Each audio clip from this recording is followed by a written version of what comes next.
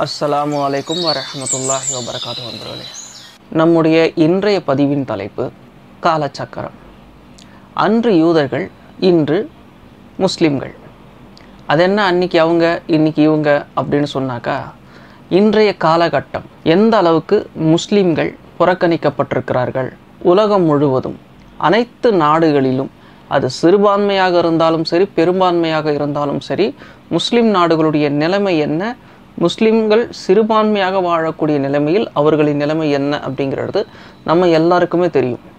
ஒட்டுமொத்தமாக உலக அரங்கில் ஒடுக்கப்பட்ட ஒரு சமுதாயமாக உலகின் ஆக பெரும் சமுதாயம் பெரும்பான்மை மக்கள் இன்னைக்கு எப்படி மாறி இருக்காங்க அப்படிங்கிறது நம்ம எல்லாருக்குமே தெரியும். இதை நம்ம யூதர்களோட ஒப்பிட்டு பார்க்க வேண்டியிருக்கு. கிபி முதலாம் நூற்றாண்டின் மத்திய பகுதியின் அடுத்த சில காலகட்டம் குறிப்பாக சொல்லணும்னா கிபி எழுவதற்கு பிறகு ஆரம்பித்து இருபதாவது நூற்றாண்டுடைய ஆரம்பம் ஆயிரத்தி தொள்ளாயிரத்தி இருபது வரைக்கும். யூதர்களுடைய நிலைமை எப்படி இருந்தது அப்படின்னு சொன்னாக்கா அவர்களும் உலகம் முழுவதும் புறக்கணிக்கப்பட்டவர்களாகத்தான் இருந்தார்கள். அவர்கள் சிறுபான்மையினராக பல நாடுகளில் இருந்தாலும் கூட அந்த நாடுகளின் குடியுரிமை கொண்டவர்களாக அவர்கள் இருக்கவில்லை. எந்த இடத்துலையும் அவங்களுக்கு குடியுரிமை கிடையாது. குடியுரிமை அவர்களுக்கு கொடுக்கப்பட்டிருந்தாலும் அவர்களுக்கு அங்கே நடத்தப்பட்ட விதம் எப்படி அப்படின்னு சொன்னாக்கா இரண்டாம் தரமான குடிமக்களாக மூன்றாம் தரமான குடிமக்களாக. அவர்களுடைய உரிமை அவர்களால் கேட்டு கூட பெற முடியாத அளவுக்கு ஒடுக்கப்பட்டிருந்தாங்க. இன்னைக்கு முஸ்லிம்களுடைய நிலைமை இதை தான் இதை பற்றி தான் இன்றைக்கி நாம் பார்க்க போகிறோம் இப்போ இறை தூதர் முகமது சல்லல்லாஹ் அலைவசல்லம் அவர்கள் என்ன சொல்லியிருக்காங்க? நமக்கு கொடுத்த எச்சரிக்கை என்ன? அப்படின்னு சொன்னாக்க உங்களுக்கு முன் சென்ற சமுதாயத்தார்கள் செய்தவற்றை அதாவது அவர்கள் செய்த செயல்கள் தவறான செயல்களை நீங்களும் செய்வீர்கள். அவர்களுக்கு நடந்தது போல உங்களுக்கும் நடக்கும். இந்த எச்சரிக்கையை இறைத்தூதர் சல்லல்லாஹ் அலைவசல்லம் அவர்கள் நமக்கு அவ்வளவு தெளிவாக சொல்லிட்டு போயிருக்கிறாங்க. இதை நம்ம இன்றைய காலத்தோட ஒப்பிட்டு பார்க்கும் பொழுது அது நீங்கள் கவனித்து பார்த்தீங்கனாலே புரியும்.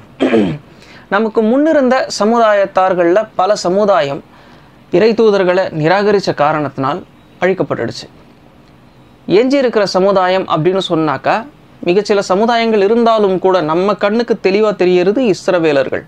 அவர்கள் இன்னிக்கும் இஸ்ரவேலர்களாகவே இருக்காங்க. அவர்கள் இன்னமும் இறைவனால் விடப்பட்டவர்களாக இருக்கிறாங்க. அவங்க அழிக்கப்படலை. அப்போ இந்த சமுதாயத்தை தான் நம்ம மிகச்சரியான எடுத்துக்காட்டாக நம்ம எடுத்துக்கொள்ள முடியும். அப்போ அவங்க செஞ்ச தவறுகளை தான் இப்போ நாமளும் செய்து கொண்டிருக்கிறோம். அதனால் அவர்களுக்கு நடந்த அந்த நிகழ்வு அந்த தண்டனை இன்னைக்கு முஸ்லீம்களை நோக்கி நகர்ந்து கொண்டிருக்கிறது. சரி ஏன் இந்த ஒப்பீடு அப்படின்னு நம்ம பார்த்தோம் அப்படின்னு சொன்னாக்கா இந்த குரான் முழுக்கவே கவனித்து பார்த்தோம்னு சொன்னாக்க ஒரு விஷயம் நமக்கு தெளிவாக தெரியும். அது என்ன அப்படின்னு சொன்னாக்கா பல சமுதாயங்களை பற்றி குரான் பேசுது. அதில் இஸ்ரேவேல் சமுதாயம் ஒரு சமுதாயம். ஆனால் இஸ்ரவேல் சமுதாயத்தை பற்றி தான் அதிகமாக பேசுகிறது. அதை தான் நம்ம கவனத்தில் கொள்ளணும். சம்மந்தமே இல்லாமல் இறைவன் இஸ்ரவேலர்களை குறித்து ஏன் அதில் அவ்வளவு எச்சரிக்கையை சொ சொல்லணும்? அவ்வளவு விஷயங்களை பற்றி ஏன் சொல்லணும்? அவங்க இப்படி செஞ்சாங்க நான் இப்படி தண்டித்தேன் அதுக்கப்புறம் மன்னித்தேன் இந்த தூதர்களை அனுப்பிச்சேன் வரிசையாக இறை தூதர்களை கொடுத்தேன். ஏராளமான இறை தூதர்களை பெற்ற ஒரு சமுதாயத்தை குறித்து இறைவன் குரானில் பல இடங்களில் சொல்லி கொண்டிருக்கிறான். அதே இறைவன் குரானில் இன்னொரு இடத்துலையும் சொல்லும் பொழுது அல்லாஹ் தேவையில்லாத வார்த்தைகளை பிரயோகிக்கிறதும் இல்லை தேவையில்லாமல் பேசுகிறதும் இல்லை அப்படின்னு. அப்போ இந்த வசனத்தை நம்ம கருத்தில் கொள்ளும் பொழுது அதாவது அல்லாஹ் வந்து தேவையில்லாமல் எந்த விஷயத்தையும் பேசுறது இல்லை எந்த வார்த்தையும் உச்சரிக்கிறதில்ல அப்படின்னு சொன்னாக்கா அதிகமான அளவு இஸ்ரவேலர்களை பற்றி அப்போ ஏன் பேசணும்? ஏன்னா அவர்கள்தான் சமகாலத்தில் இருக்கிற முஸ்லீம்களுக்கு ஒரு பாடம். அவங்க செஞ்ச தவறுகளை நீங்கள் செய்யக்கூடாது அப்படிங்கிறது தான் எல்லாம் திரும்ப திரும்ப மறைமுகமாக அதில் சொல்லி கொண்டிருக்கோம் இதைத்தான் நாம் அதில் புரிஞ்சு கொள்ளணும். அந்த இஸ்ரவேலர்களுடைய ஒரு மையம் எதுவாக இருந்தது? அந்த சமுதாயத்தின் மையம் எதுவாக இருந்தது அப்படின்னு சொன்னாக்கா ஜெருசலம். அந்த ஜெருசலம்ங்கிறது இறைவனுடைய அருட்கொடை. அந்த ஜெருசலத்துக்குள்ளே அவங்க போகும்பொழுது அவங்களுக்கான வழிகாட்டுதலோட சட்ட புத்தகத்தோடு தான் உள்ளே போனாங்க. அங்கே இருக்கும் பொழுது அவர்களுக்கு அந்த சட்டம் அருளப்படவே இல்லை. எகிப்திலிருந்து கிளம்புனவங்க சினாய் மலை உச்சியில் மூசா அவர்களிடமிருந்து ஒரு வேதத்தை அவர்கள் பெறுகிறார்கள். அங்கிருந்து அவங்க என்ன பண்ணுறாங்க அப்படின்னாக்க ஜெருசலம் நோக்கி போகிறாங்க அந்த ஜெருசலத்துக்குள்ள அவங்க அமைஞ்சு அந்த சமுதாயம் அந்த சட்ட நூலை நடைமுறைப்படுத்த வேண்டும். இதுதான் அவர்களுக்கு கொடுக்கப்பட்ட வேலை. ஆனால் அந்த மக்கள் ஜெருசலத்துக்குள்ளே நுழைய மறுக்கிறாங்க. காரணம் என்ன அப்படின்னா ஏற்கனவே ஒரு கூட்டம் இருக்குது அந்த கூட்டத்தோட சண்டை போடணும்.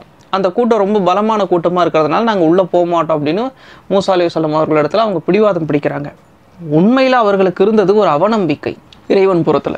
இது போக இறைவன் கொடுத்த அந்த சட்ட நூல் வந்து அவர்களுக்கு சிரமமானதாக இருந்தது.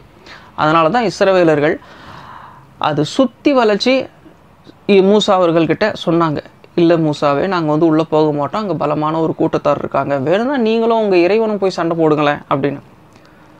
பல விஷயங்களை மன்னித்த இறைவன் கடைசியாக இந்த விஷயத்தை மன்னிக்காம இறைவன் புறத்திலிருந்து அந்த சமுதாயம் சாபத்தை பெற்றது. நாற்பது வருடங்கள் அவர்களுக்கு எந்த நாடுமே இருக்காது பூமியில் அலைஞ்சு திரிவாங்க அப்படின்னு.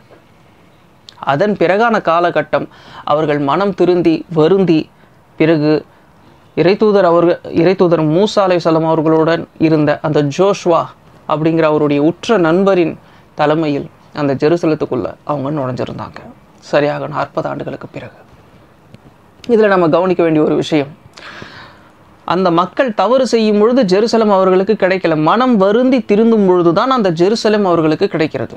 அதற்கு பிறகு ஆன காலகட்டம் அப்படின்னு சொன்னாக்கா மறுபடியும் அந்த மக்கள் எப்போ அங்கேருந்து விரட்டி அடிக்கப்படுறாங்க அப்படின்னு சொன்னாக்கா ஹெரோத் அப்படிங்கிற ஒரு மன்னனுடைய தலைமையில் ஜெருசலமில் ஒரு ஆட்சி நடக்குது. அந்த ஹெரோத் தான் ஹைகுலோ சுலைமான மறுபடியும் கட்டினவர். ஹைகுலோ சுலைமான் அப்படின்னு சொன்னாக்கா அந்த மலைக்கோயில். இன்றைக்கும் யூதர்களுடைய கனவாக இருந்து கொண்டிருக்கிற அந்த மூன்றாம் முறையாக நாங்கள் கட்டுவோம் அப்படின்னு சொல்லக்கூடிய அந்த ஆலயம். அந்த ஆலயத்தை மறுபடியும் கட்டியவர் இரண்டாவது முறையாக கட்டியவர் ஹெரோத் அவர்கள். பைபிளில் ஹெரோதுன்னு தானே வருது அவரோட பேர். இந்த ஹெரோத் என்ன பண்ணுறாரு அப்படின்னு சொன்னாக்கா யூதர்களை கடுமையான முறையில் துன்புறுத்துறாரு சித்திரவதை பண்ணுறாரு ஏன் அப்படி செய்கிறாரு அப்படின்னு சொன்னாக்கா அவருக்கு அடங்கின ஆட்சி தான் அங்கே வந்து நடக்கணும். யூத குருமார்களுடைய ஆட்சி அங்கே நடக்கக்கூடாது. தான் சொல்கிறது தான் சட்டம் அப்படிங்கிறது அவருடைய ஒரு நடைமுறை பழக்கமாக இருந்து கொண்டிருந்தது. அவருடைய ஆட்சியை யூதர்கள் ஒட்டுமொத்தமாக வெறுத்தாங்க. ஆனால் ரெண்டாவது முறையாக அந்த ஆலயத்தை அவர் கட்டியதனால் மட்டுமே யூதர்கள் இன்னிக்கும் அந்த ஹேரோதை நன்றியோட நினைவு கூறுறாங்க இன்னைக்கு ஒரு மதிக்கத்தக்க ஒரு யூதராக ஹெரோத் அவர்கள் யூதர்களால் பார்க்கப்படுகிறார். ஆனால் அந்த காலகட்டத்தில் இந்த ஹெரோதுக்கு பயந்து யூத மதத்தை சரிவர நம்ம பேண முடியாது அப்படின்னு நினச்சி சில யூதர்கள் அங்கேருந்து வெளியேறினாங்க. எங்கே? ஜெருசலத்தில் இருந்து. அந்த இஸ்ரேலில் இருந்து அங்கே இருக்கிற யூதர்கள் இஸ்ரவேலர்கள் வெளியேறினாங்க. மிகச்சில பேர். ஆனால் உலக வரலாறுலேயே யூதர்கள் வெளியேறின அந்த இஸ்ரேலை விட்டு வெளியேறின முதல் தருணமே அதுவாகத்தான் இருந்தது. அதன் பிறகான காலகட்டம் ஈசா அலைவசலம் அவர்களுடைய காலகட்டமாக இருந்தது. அந்த காலகட்டத்தில் அவரை ஏற்றுக்கொள்ள மறுத்த யூதர்கள் மீது இறைவனுடைய சாபம் இறங்கியது. கிபி எழுபதாவது வருடம். அக்ரிஃபா ஒன் அப்படிங்கிற ஒரு கவர்னருடைய தலைமையில் அங்கே யூதர்கள் ஜெருசலேமில் வாழ்ந்து கொண்டிருந்தாங்க. அந்த அக்ரிஃபா அப்படிங்கிறவர் ஒரு கவர்னர் ரோம பேரரசுக்கு கட்டுப்பட்டவர். அந்த ரோம பேரரசுடைய வழக்கம் என்ன அப்படின்னு சொன்னாக்கா அந்த ரோமனுடைய தலைமை மன்னன் மா மன்னன் இருக்கார் பாருங்கள் அவரை தான் வணங்கணும் கடவுளா அப்படின்னு சொல்லி மக்களுக்கு அறிவுறுத்தப்படும். அந்த மக்களும் அப்படிதான் செய்து கொண்டிருந்தாங்க. எந்த பிரச்சனையும் இல்லாமல் இந்த நாட்கள் வந்து நகர்ந்து கொண்டிருந்தது. ஆனால் யூதர்கள் மட்டும் விதிவிலக்காக இருந்தாங்க. யூதர்கள் வந்து நேரடியாகவே போய் அவங்ககிட்ட பேசினாங்க. குறிப்பாக அக்ரிஃபாவே வந்து போய் பேசினார். நாங்கள் வந்துட்டு ஏக இறைவனை மட்டுமே வணங்குவோம். சிலை வழிபாடுகளையும் மனிதர்களையும் நாங்கள் வந்து வணக்க மாட்டோம் அப்படின்னு சொல்லும் பொழுது அந்த ரோம மன்னர் என்ன பண்ணார் அப்படின்னு சொன்னாக்க எதுவுமே அவர் வந்து கோவப்படலை எதுவும் மனசில் வச்சுக்கவே இல்லை. இது உங்களுடைய வழிமுறை தானே. அதை நீங்கள் செய்து கொள்ளுங்க. உங்களுடைய பாரம்பரியத்தை நீங்கள் அப்படியே நீங்கள் பின்பற்றலாம் அப்படின்னு வந்து விட்டுட்டார். ஆனால் அதுக்கு பிறகு என்ன ஆச்சு அப்படின்னு சொன்னாக்க அளவு கடந்த சுதந்திரத்தை இந்த பாலஸ்தீனியர்கள் அதாவது இந்த இஸ்ரேவேலர்கள் அனுபவிக்கும் பொழுது தனி நாடு அப்படிங்கிற ஆசை அவர்களுக்கு வந்தது. ஏன்னா அப்போ தான் யூத மத சட்டங்களை நாம் அமல்படுத்த முடியும். இறை சட்டங்களை அமல்படுத்த முடியும் அப்படின்னு. அப்போ அந்த நேரத்தில் என்ன ஆகுது அப்படின்னு சொன்னாக்கா சிலாட் அப்படிங்கிற ஒரு படையை வந்து யூதர்கள் உருவாக்குறாங்க. அந்த சிலாட்டுங்கிற படை மிகவும் இந்த கொரில்லா தாக்குதலை நடத்தக்கூடிய ஒரு படையாக உருவெடுத்தது. உலகத்திலேயே ஒரு பலமான பயங்கரமான ஒரு படையாக அந்த சிலாத் கட்டமைக்கப்பட்டிருந்தது. ஆனால் அதில் இருந்தது குறைவான மக்கள் தான் ஏன்னா யூதர்களை பொறுத்த வரைக்கும் அது மக்கள் தொகை குறைவு தானே அப்போ அந்த காலகட்டத்தில் என்ன ஆகுது அப்படின்னு சொன்னாக்கா ரோம பேரரசு இராணுவத்தை நம்ம நாட்டிலிருந்து விரட்டணும் அப்படின்னு ஒரு நாள் குறிக்கப்பட்டு கடுமையான தாக்குதல் ரோம இராணுவத்து மேலே நடத்தப்பட்டுச்சு. எதிர்பாராத இந்த தாக்குதலை ரோமர்களால் சமாளிக்க முடியல. ரோமர்கள் அங்கேருந்து விரட்டி அடிக்கப்பட்டாங்க. அதை யூதர்கள் பெரிய அளவில் கொண்டாடினாங்க. இது நடந்தது கிபி அறுபத்தி ஒன்பது. ஈசா அலையுசலாம் அவருடைய காலகட்டத்துக்கு பிறகு அப்படின்னு சொல்லப்படுது. ஆனால் ஒரே வருடம்தான். ரோம மாமன்னனுடைய அந்த சக்கரவர்த்தியின் மகன் டைட்டஸுடைய தலைமையில் ஒரு பிரம்மாண்டமான ரோம இராணுவம் வருது. அந்த இடத்தையே சூறையாடுது. ஒரே ஒரு இஸ்ரவேலர் கூட அந்த ஜெருசலம்லேயோ அல்லது அந்த முழு பாலஸ்தீனுக்குள்ளேயோ இருக்கக்கூடாது அப்படிங்கிற ஒரு வெறியோட அந்த தாக்குதல் நடத்தப்பட்டுச்சு. அந்த காலகட்டம் தான் அங்கிருந்து இஸ்ரவேலர்கள் முழுமையாக சிதறி போனார்கள். பேருக்கு கூட ஒருத்தர் அங்கே இருக்க முடியல. உலகம் பூரா சிதறி போனாங்க அப்படியே. மத்திய கிழக்கு பக்கம் கொஞ்சம் அந்த ரஷ்யா பக்கம் கொஞ்சம் ஃப்ரான்ஸ் பக்கம் கொஞ்சம். அதாவது எங்கெல்லாம் கிறிஸ்தவர்களுடைய வாடை இல்லையோ எங்கெல்லாம் கிறிஸ்தவ மதம் பலமானதாக இல்லையோ அங்கெல்லாம் இந்த யூதர்கள் போனாங்க. ஏன்னா யூதர்களுக்கும் கிறிஸ்தவர்களுக்கும் ஆகாது. அதனால். அப்போ இந்த காலகட்டம் எப்படியானதாக இருக்குது அப்படின்னு சொன்னாக்கா அது இறைவனுடைய சாபமாக தான் இருந்தது. ஈசா அலையுஸ்லாம் அவர்களை அவங்க வந்து ஏற்றுக்கொள்ள மறுத்ததுனால அந்த ஜெருசலம் அவர்களிடமிருந்து இறைவன் நாட்டத்தோட பறிக்கப்பட்டுச்சு. அந்த ஹைக்கலு சுலைமான் அப்படிங்கிற அந்த ஆலயம் ஹெரோதனால் இரண்டாம் முறையாக கட்டப்பட்ட அந்த ஆலயம் ரோம படையினால் இடிக்கப்பட்டுச்சு. அதுக்குள்ள இருந்த தங்கம் வைரம் வெள்ளி வைடூரியம் மரகதம் இது போன்ற விலை உயர்ந்த பொருட்களால் உலகங்களால் செய்யப்பட்ட அனைத்து பொருட்களும் ரோம் நாட்டுக்கு சென்றது. இதில் முக்கியமாக கவனிக்க வேண்டிய ஒரு விஷயம் என்ன அப்படின்னு சொன்னாக்கா அந்த மெழுகுவத்தி ஸ்டாண்ட் இருக்குது பாருங்க. Candle stand. அது இறைவன் மோசஸ் அப்படிங்கிற அந்த தீர்க்கதரிசி அவர்களுடைய வழக்கத்தில் சொல்கிறது அந்த தீர்க்கதரிசிக்கு அறி அவருடைய அறிவுறுத்தலின்படி அதாவது இறைவனின் அறிவுறுத்தலின்படி அவரே உருவாக்கின அந்த மெழுகுவத்தி ஸ்டாண்ட் இருக்கு பாருங்க. அது உள்ள அலங்கார பொருளாக இருந்து கொண்டிருந்தது. புனிதமாகவும் சக்தி வாய்ந்ததாகவும் நினைத்த நினைத்து பார்க்கப்பட்ட அந்த கேண்டில் இருக்கு பாருங்க அந்த ஸ்டாண்டு அதையும் அவங்க எடுத்துக்கிட்டு போனாங்க. இதில் இந்த ஸ்டாண்ட் எடுத்துகிட்டு போகும்போது அதை எப்படியாவது தடுத்து நிறுத்திடணும் நம்ம வாங்கிடணும் அப்படின்னு சொல்லிட்டு அது சில யூதர்கள் வந்து முயற்சி பண்ணாங்க. அந்த முயற்சி தோற்றுறது ஆனால் அந்த முயற்சியில் மட்டுமே எத்தனை பேர் இறந்தாங்க அப்படின்னு சொன்னாக்கா பனிரெண்டாயிரம் யூதர்கள் இறந்து போனார்கள். கடுமையான ஒரு தாக்குதலாக அன்னைக்கு இருந்தது. அன்னைக்கு ஓடி போனவங்க ஆயிரத்தி தொள்ளாயிரத்தி இருபது வரையில் அவர்கள் நாடோடிகளாகத்தான் இருந்தார்கள். ஜெருசலேம் அவர்களுக்கு கிடைக்கல. அப்போ அந்த ஜெருசலம் யார்கிட்ட தான் இருந்தது அப்படின்னு சொன்னாக்கா ரோமர்கள் வசம் வந்திருந்தது. அந்த ரோம் பிற்காலத்தில் கிறிஸ்தவ நிர்வாகமாக மாறியது. அந்த ரோம அரசாங்கம் கிறிஸ்தவ நிர்வாகமாக மாறும் பொழுது அது என்ன ஆச்சு அப்படின்னு சொன்னாக்கா அது கிறிஸ்தவ மத சடங்குகளை சட்டங்களை நிர்வகிக்கக்கூடிய ஒரு அரசாங்கமாக மாறிய பொழுது அந்த பாலஸ்தீனத்தை அவர்கள் புனிதமாக கொண்டாடினார்கள். ஏன்னா அவர்களுடைய தேவன் பிறந்த இடமாக அந்த பாலஸ்தீன் அந்த ஜெருசலம் அந்த பெத்லஹேம் இது எல்லாமே இருக்கிறதுனால அவங்க ரொம்பவும் பாதுகாக்கப்பட்ட ஒரு நகரமாக வைத்துக்கொண்டு அவர்களுடைய தேவனை தூஷித்தவர்களை அங்கே உள்ள வர விடாமல் அவங்க தடுத்து வச்சுருந்தாங்க. இந்த காலகட்டத்தில் ஒரு மத்திய பகுதி கிறிஸ்துவுக்கு பின் ஒரு அறுநூறு ஆண்டுகள் கழித்து மத்திய கிழக்கில் இஸ்லாம் வருது. இந்த இஸ்லாம் இறைவனிடமிருந்து வரும் பொழுது இறுதி வேதமாகவும் முகமது நபி சல்லல்லா அலைஹி அவர்கள் ஒட்டுமொத்த உலக மக்களுக்கும் இறுதி நபியாகவும் வருகிறார். இந்த மார்க்கமும் இறுதியானதாக உறுதி செய்யப்படுகிறது. அப்போ இந்த காலகட்டம் ஜெருசலேமை முஸ்லீம்களுக்கு இறைவன் கொடுக்கிறார். அந்த ஜெருசலேமை சுற்றி தான் எல்லாமே நிகழுது. இந்த ஜெருசலத்துக்காகவே எல்லாமே நிகழுது. யூதர்களுக்கு மூடப்பட்ட அந்த ஜெருசலேம் மத்திய கிழக்கிலிருந்து வரக்கூடிய முஸ்லீம்களுக்காக திறக்கப்பட்டது.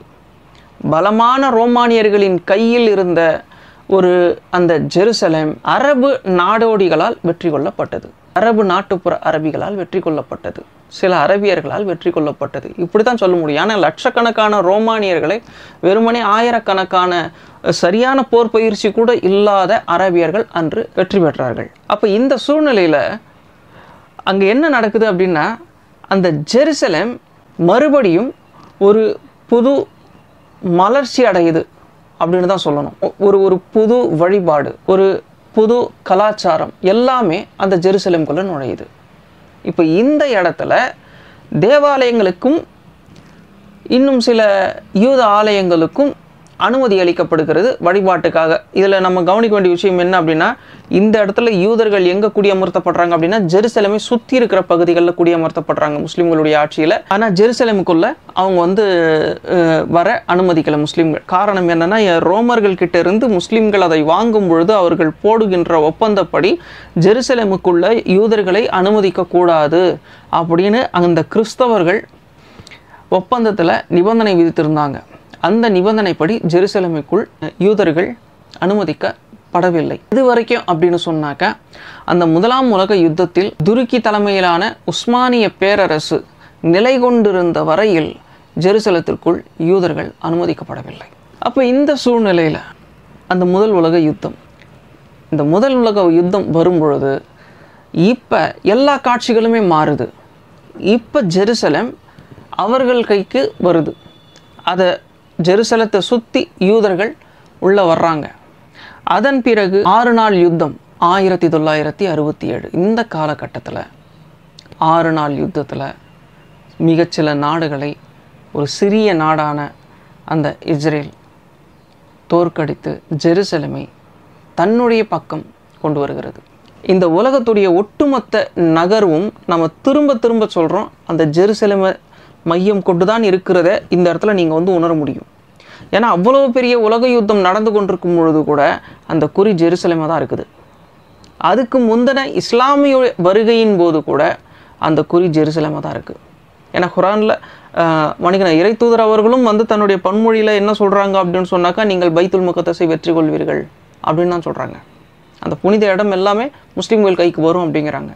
அதுக்கு முந்தி இருந்த கிறிஸ்தவர்களும் அந்த பைத்துல் முகத்தஸ் அந்த ஜெருசலம் அந்த பாலஸ்தீன் அது அவர்களுக்கு புனிதமானதாக இருக்கிறது. அது அவங்க விரும்புகிறாங்க அதற்கு முன்பாக இருந்த யூதர்களுக்கு அது புனித இடம். அது தாயகம். அப்போ ஒட்டுமொத்த உலக அரசியலும் நேரடியாகவும் மறைமுகமாகவும் ஜெருசலம்ங்கிற ஒரு புள்ளியை நோக்கித்தான் அமைந்து கொண்டிருக்கிறது அப்படிங்கிறத நம்ம இந்த இடத்துல புரிஞ்சு கொள்ளணும் இதில் இடையில திடீர்னு அந்த செக்குலரிசம் அப்படின்னு சொல்லக்கூடிய சொல்லக்கூடிய அந்த சார்பின்மை மதச்சார்பின்மைங்கிற அந்த விஷயம் வருது பாருங்க. அந்த மதச்சார்பின்மை உருவாகிற அந்த காலகட்டம் அதாவது மத அரசாங்கங்கள் மட்டுமே உலகம் முழுவதும் இருந்து கொண்டிருந்த அந்த காலகட்டத்தில் திடீர்னு மதச்சார்பின்மை அப்படிங்கிற அரசாங்கம் பிரிட்டன்ல இருந்து வருது முதல்ல. அதுக்கப்புறம் ஃப்ரான்ஸ்லேருந்து போர்ச்சுகல்ல இருந்துன்னு எல்லா இடங்கள்ல இருந்தும் ஒரே மாதிரியே வருது. அது கிறிஸ்தவ அரசாங்கமாக வரல மத அரசாங்கமாக வரல. முழுக்க முழுக்க மதச்சார்பின்மை அரசாங்கமாக உலகம் முழுவதும் அவங்க ஆக்கிரமிக்க தொடங்குறாங்க. இந்த திடீர் மாற்றம் உலக வரலாறுல இப்படிப்பட்ட ஒரு நிகழ்வு எங்கேயுமே நடந்ததில்லை. இந்த திடீர் மாற்றம் உருவானதும் இந்த ஜெருசலேமை மையமாக கொண்டுதான். இதை பற்றியெல்லாம் நம்ம ரொம்ப டீப்பாக பேசுகிறோம் அப்படின்னு சொன்னாக்கா அது ரொம்ப பொறுமையும் வேணும். பேசுகிறதுக்கும் ரொம்ப பொறுமை வேணும். அதை கேட்குறதுக்கும் ரொம்ப பொறுமை வேணும். சரி இந்த இடத்துல இந்த இடத்துல நம்ம கவனிக்க வேண்டிய விஷயம் என்ன அப்படின்னா இந்த ஜெருசலேம். இதை ஏன் இறைவன் இஸ்ரவேலர்கிட்ட இருந்து பறிச்சார்? அதை ஏன் ரோமர்கள்கிட்ட ஒப்படைத்தார்? அதன் பிறகான காலகட்டத்தில் ஏன் முஸ்லீம்கள்கிட்ட ஒப்படைத்தார்? மறுபடியும் ஏன் ஆரம்பித்த இடத்துக்கே இந்த விளையாட்டு வந்து நிற்கிது இந்த விஷயம் இருக்குதுல்ல இது நமக்கு கண்டிப்பாக புரியணும். ஏன் அப்படின்னு சொன்னால் இறை தூதர் அவர்கள் ஒரு பொன்மொழி சொல்கிறாங்க என்ன அப்படின்னா முவாத்திப்னு ஜபல் அவர்கள்கிட்ட இறை தூதர் ஸல்லல்லாஹு அலைஹி சொல்லம் அவர்கள் சொல்கிறாங்க என்ன சொல்கிறாங்க அப்படின்னு சொன்னாக்கா மதினா அழிவில் இருக்கும் பொழுதுதான் ஜெருசலேம் செழிப்பாகும் அப்படிங்கிறாங்க. அந்த மகா யுத்தம் நடக்கும் பொழுது மதினா அழியும் அப்படிங்கிறாங்க. அந்த மகா யுத்தத்தில் குஸ்துந்தூனியா வெற்றி பெறும் அப்படிங்கிறாங்க. குஸ்துந்தூனியானா கான்ஸ்டான்டினோபல் துருக்கி. அது எப்போ வெற்றி கொள்ளப்படும் அப்படின்னு சொன்னால் தஜ்ஜால் வெளியேறும் பொழுது தான் அந்த கான்ஸ்டான்டினோவல் வெற்றி கொள்ளப்படும் அப்படிங்கிறாங்க. அப்போ இந்த எச்சரிக்கை இருக்குதுல்ல? இறைத்தூதர் சொன்ன இந்த எச்சரிக்கை. இது எப்படிப்பட்ட ஒரு எச்சரிக்கையாக இருக்குது இதை எப்படி நாம் வந்து புரிஞ்சு கொள்வது அப்படின்னு சொன்னாக்கா மதினா அழிவில் இருக்கும் பொழுது தான் ஜெருசலேம் செழிப்பாகும். அது என்ன மதினா அழிவில் இருக்கும் பொழுது அப்படிங்கிற ஒரு கேள்வி வருது இல்லையா? எப்படி யூதர்களுக்கு அந்த ஜெருசலேம் ஒரு தலைமையாக கொடுக்கப்பட்டுச்சோ? அதே மாதிரி முஸ்லீம்களுக்கு இறை தூதர் அவர்களால் ஒரு தலைமை பகுதியாக கொடுக்கப்பட்ட ஒரு இடம் மதினா. மதினாவில் இருந்து கொண்டு தான் இறை தூதர் அவர்கள் ஆட்சி நடத்தினாங்க. அவருக்கு பிறகு வந்த சஹாபாக்கள் கொலாஃபை ராஷதீன்களுடைய காலகட்டமும் மதினாவை மையம் கொண்டு தான் அமைந்திருந்தது. அங்கிருந்து தான் உலகத்துடைய மூன்று பெரிய கண்டங்கள் வரைக்கும் அவர்களுடைய ஆட்சிகள் வந்து நடந்து கொண்டிருந்தது. அப்போ இஸ்லாமிய சட்டங்களை நிர்வகிக்கக்கூடிய அமுல்படுத்தக்கூடிய தலைமை பொறுப்பில் இருந்தது எது அப்படின்னு சொன்னாக்கா அந்த மதீனா தான்.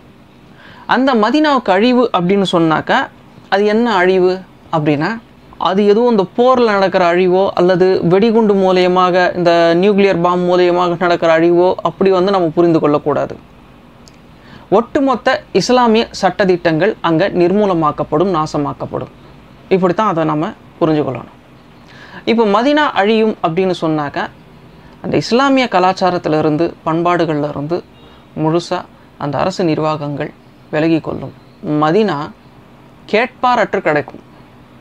அதோடைய நிர்வாகங்கள் சீரழிஞ்சு போயிடும்.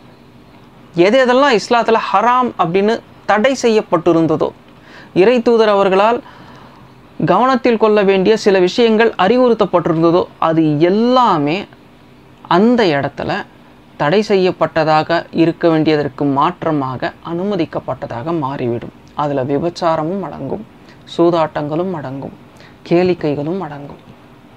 இன்றைக்கி மதினாவுடைய நிலைமை என்ன அப்படிங்கிறது நம்ம எல்லாருக்குமே தெரியும். அங்கே கேளிக்கைகள் பெரிய அளவில் திறக்கப்படக்கூடிய ஒரு சூழல் உருவாயிருக்கு. திரையரங்குகள் கூட அங்கே திறக்கப்படுறதுக்கான முயற்சிகள் எடுத்துக்கொண்டிருக்கிறாங்க. இது போக அங்கே ரகசியமான முறையில் விபச்சாரங்களும் நடந்து கொண்டிருப்பதாக சொல்லப்படுகிறது. மேற்கத்திய கலாச்சாரத்தை முழுவதுமாக உள்வாங்கிக் கொண்டிருக்கிறது இன்றைய மதினா. மேற்கத்தியர்களின் அதிகமான தாக்கங்களுக்கு இந்த மதினா தற்பொழுது கட்டாயமாக நிர்பந்திக்கப்பட்டு கொண்டு இருக்கிறது இஸ்லாமிய கலாச்சாரங்களிலிருந்து முழுமையாக அந்த மதினா விடுபட்டு கொண்டே இருக்கிறது. இது மதினாவின் அழிவு. இந்த அழிவு இங்கே நடந்து கொண்டிருக்கும் பொழுது இப்பொழுது நாம் அங்கே ஜெருசலமை பார்க்கணும். அந்த பாலஸ்தீன் நிலப்பரப்பை பார்க்கணும். அதிகாரத்தில் இருக்கக்கூடிய யூதர்கள் மிகவும் செழிப்படைந்தவர்களாக உலகையே மாற்றியமைக்கக்கூடிய வல்லமை பொருந்தியவர்களாக மிகவும் அறிவு ஜீவிகளாக கல்வியாளர்களாக அப்படிங்கிற ஒரு பிம்பம் இப்போ அவர்களை நோக்கி முழுமையாக கட்டமைக்கப்பட்டிருக்கு. அவங்க நினச்சா இந்த உலகத்தில் எது வேணாலும் செய்யலாம் அப்படிங்கிற ஒரு பிம்பம் தற்பொழுது கட்டமைக்கப்பட்டிருக்கிறது. இப்போ கவனமாக கவனிச்சு பாருங்க. மதினா அழிவில் இருக்கும் பொழுது இந்த ஜெருசலம் செழிப்பாகி இருக்கிறது. உங்களுக்கு புரியும்னு நினைக்கிறேன். இந்த ஜெருசலமை தற்பொழுது இவர்கள் தலைநகராக ஆக்கி கொண்டார்கள். எந்த அளவுக்கு அப்படின்னு சொன்னாக்க ஐநா சபை உள்ளிட்ட பல நாடுகள் நாங்கள் இதை ஏற்றுக்கொள்ள மாட்டோம் அப்படின்னு அவங்க சொன்னாலும் கூட இஸ்ரேல் பிடிவாதமாக ஜெருசலமை தங்களுடைய தலைநகராக ஆக்கி கொண்டார்கள். காரணம் என்ன அப்படின்னா எங்களுக்கு உங்களுடைய துணை எல்லாம் வேண்டவே வேண்டாம். எங்களால் தனியாகவே அனைத்தையும் செய்து கொள்ள முடியும் அப்படிங்கிறது தான் அதுக்கு அர்த்தம். அப்போ அந்த யூதர்களுடைய நிலை இன்னைக்கு எப்படி இருக்குது அப்படின்னு சொன்னாக்கா ஒரு பக்கம் மதினா சீரழிந்து கொண்டிருக்கும் பொழுது இவர்களுடைய நிலை மேலோங்கி கொண்டிருக்கிறது உலகம் முழுவதும். அந்த ஜெருசலேம் நோக்கி பாலஸ்தீன் நோக்கி இவர்கள் திரும்புவார்கள் அப்படின்னு குரான் நமக்கு முன்னறிவிப்பு செய்யுது பதினேழாவது அத்தியாயத்தில் நம்ம பார்க்குறோம். இறைவன் அந்த வசனத்தில் சொல்கிறது என்ன அப்படின்னு சொன்னாக்கா நீங்கள் பூமியில் ரெண்டு முறை குழப்பத்தை ஏற்படுத்துவீங்க. அதில் முதல் வாக்குறுதி நிறைவேறும் பொழுதும் நீங்கள் அங்கே ஜெருசலம்லேருந்து விரட்டி அடிக்கப்படுவீங்க உங்களுடைய தாய் நிலத்துலேருந்து அதுக்கப்புறம் நீங்கள் உள்ளே வருவீங்க. மறுபடியும் இதே மாதிரியான ஒரு குழப்ப நிலை உங்களுக்கு உண்டாகும். அப்பொழுதும் நீங்கள் விரட்டி அடிக்கப்படுவீங்க. அப்படின்னு வரும். அப்போ இறைவன் இந்த இடத்துல அவங்களுக்கு சொல்கிற ஒரு புத்திமதி என்ன அப்படின்னா எதிரிகள் உங்களை தாக்கும் போது எவ்வளவு ஒரு காட்டு மிராண்டித்தனமாக உங்களை தாக்கினாங்க. கடுமையான முறையில் தாக்குனது மட்டும் இல்லை உங்களுடைய பெண்கள் கற்பழிக்கப்பட்டாங்க. உங்களுடைய வீடுகள் எல்லாமே வந்து பிடுங்கப்பட்டுச்சு. உங்களுடைய வீட்டில் இருந்து அவங்க வந்து துரத்தி அடித்தாங்க உங்களை. உங்கள் வீடுகளை வந்து அவங்க ஆக்கிரமிச்சாங்க. சொல்லிட்டு நீங்கள் இப்படி செய்யக்கூடாது அப்படின்னு இறைவன் வந்து அவங்களுக்கு அறிவுறுத்தி இருக்கிறத நம்ம பார்க்க முடியும். ஆனால் இதே தவறுகளை இன்றைக்கி இந்த யூதர்கள் செய்து கொண்டிருக்கிறாங்க. இதில் ஒரு கவனிக்க வேண்டிய விஷயம் என்ன அப்படின்னா மூன்றாவது முறையாக அவர்கள் மறுபடியும் அந்த பாலஸ்தீன் மண்ணை நோக்கி வருவார்கள் அப்படிங்கிற அந்த முன்னறிவிப்பு. உங்கள் இறைவன் உங்கள் மீது கருணை காட்ட போதுமானவன் அப்படிங்கிற வசனத்தின் மூலயமா அதை மறைமுகமாக சொல்லியிருக்கிறத நாம் உணர்றோம். அதே இறைவன் ஒரு எச்சரிக்கையும் அதில் கொடுத்துருக்கிறதையும் நம்ம பார்க்குறோம். நீங்கள் திரும்பினால் நாமும் திரும்பி விடுவோம். ரெண்டாயிரம் வருஷம் நீ சுத்தன. சரி உன்னுடைய இறைவன் உனக்கு கருணை காட்ட போதுமானவன். ஆனால் மறுபடியும் உள்ளே வந்து இறைவன் அன்னைக்கு சொன்ன அந்த அறிவுறுத்தல் இருக்குல்ல எதிரி உள்ளே வந்து உன்னை எப்படி அடித்தான் உன் வீட்டுக்குள்ளே நுழைஞ்சு உன்னை திருத்தி விட்டான் அந்த மாதிரி நீ பண்ணக்கூடாது. யாரையும்ங்கிற அந்த முக்கியமான நிபந்தனையை இன்னைக்கு யூதர்கள் மீறி கொண்டிருக்கிறார்கள். நம்ம பார்க்குறோம் சமூக வலை காட்சிகளில் ஒவ்வொரு பாலஸ்தீனிய வீட்டுக்குள்ளேயும் நுழைஞ்சு இது எங்கள் இடம் இது என் வீடு நீங்கள் வெளியே போங்க அப்படின்னு சொல்கிற காட்சிகள். ஆயிரத்தி தொள்ளாயிரத்தி நாற்பத்தி எட்டுலேருந்து இன்று வரையிலும் பாலஸ்தீனியர்கள் தங்களுடைய வீடுகளிலிருந்து விரட்டி அடிக்கப்பட்டு கொண்டிருக்கிறார்கள். அவர்களுடைய வீடு அரசாங்க அனுமதியோடு யூதர்களுக்கு கொடுக்கப்படுது. அரசாங்கமே அதை வந்து ஒரு பணியாக செய்து கொண்டிருக்கிறது. இப்போ இந்த இடத்துல இஸ்ரவேலர்கள் செழிப்பாக மாறியிருக்கிறார்கள். இப்போ அப்படியே இறை தூதர் அவர்கள் சொல்லுக்கு எச்சரிக்கையை நீங்கள் கவனிச்சு பாருங்கள் மதினா அழிவில் இருக்கும் பொழுது இஸ்ரேவேல் செழிப்பாக மாறும். இப்போ மாறிக்கிட்டு வர்றதை நம்ம கவனிக்கிறோம். சரி இப்போ நாம் தெரிந்து கொள்ள வேண்டிய மிக முக்கியமான விஷயம் என்ன அப்படின்னு சொன்னாக்க முஸ்லீம்களிடமிருந்து அந்த பாலஸ்தீன் குறிப்பாக அந்த ஜெருசலம் பறிக்கப்பட்டதுக்கான காரணம் என்ன? ஏன் இப்படி நடந்தது? நாங்கள் தான் உண்மையான இறைமார்க்கத்தை ஏற்றுக்கொண்டிருக்கிறோம். எங்களிடம்தான் உண்மையான இறைவேதம் இருக்கிறது. அதுவும் யாராலையும் மாற்றம் செய்ய முடியாத செய்யப்படாத ஒரு வேதம் எங்களிடம் இருக்கிறது. இப்படியெல்லாம் சொல்லி கொண்டிருப்பாங்க. எந்த அளவுக்கு அப்படின்னு சொன்னாக்க மூல மொழி அதாவது உலகத்திலேயே வேதம் கொடுக்கப்பட்டு அழிக்கப்படாத ஒரே மொழி எது அப்படின்னு சொன்னாக்கா இன்று வரை உயிரோடு உள்ள மொழி எது அப்படின்னு பார்த்தீங்கன்னா அரபு தான். அரபு மொழியில் வேதம் கொடுக்கப்பட்டு அந்த அரபு மொழி இன்று வரையிலும் உயிரோடு இருந்து கொண்டிருக்கிறது. நீங்கள் மற்ற சமுதாயங்களில் பார்த்தீங்கன்னா உங்களுக்கே தெரியும் மற்ற சமுதாயங்களில் வேதங்கள் இருக்கும். அந்த வேத மொழிகள் இருக்காது. அது ஒரு காலத்தில் பேசி கொண்டிருந்தாங்க அப்படின்னு சொல்லி இன்றைக்கி வெறும் மந்திரமாக மட்டுமே அந்த மொழி உச்சரிக்கப்படுவதை நம்ம பார்க்குறோம்.